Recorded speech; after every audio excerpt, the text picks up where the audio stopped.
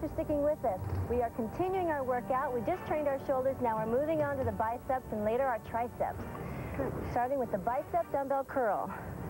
You know, Jennifer, a lot of women are under the impression that you get big muscles when you work your biceps. Mm-hmm. And actually, it's not true. To get a total workout, you should work the front and the back, and you get a nice tone, and you look great. What do you think, Kiana, right? Eight. Nine. Working out. No, definitely. she- You need to complement That's each right. other so you don't have an imbalance within your body parts. That's right. 12. All right. 15.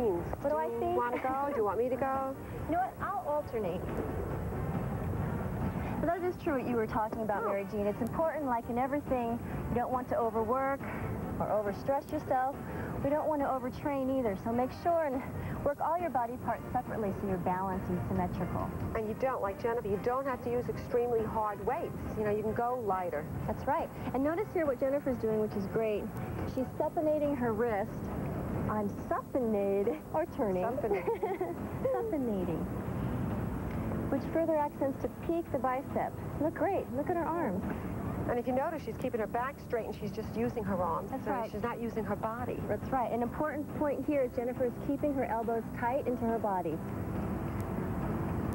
For those of you at home just starting, if you're sitting down watching us right now, put down your sandwich or your breakfast cereal and just try it. You don't even need to use any weight. Just try this movement. My stomach just growled when you said that about sandwich. Oatmeal with raisins. Okay, two more. Okay, and there we go.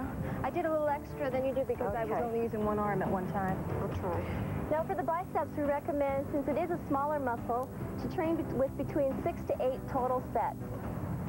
10 to 12 repetitions. And I'm going to do alternating, and I'm just going to turn out the Mary Jean? dumbbell a little more. If I, can I make a suggestion? Notice your elbows coming out? Yes. Your elbows should be next to your body. There. The body. Perfect. I'm glad, I'm glad you did that, because that, Yes. a picture's worth a thousand words. A words. thousand words. That's right. Now, when you're doing alternating, do you wait for the motion to stop and then bring up the next time, or is it a continuous movement?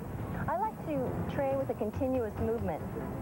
That way, it's a little bit tougher. Mm -hmm. And but the main point is when you do start right into the next movement, notice Mary Jean is starting from a stop position. She's not letting it swing back and Oh, swinging okay. it up.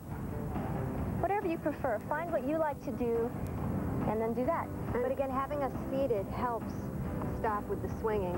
It's a little bit stricter. That's right. And when you keep your elbows, then you feel it even more.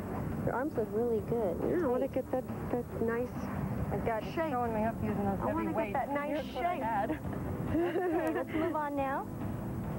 Now we did the uh, bicep curls with the dumbbells. Now we'll show you the barbell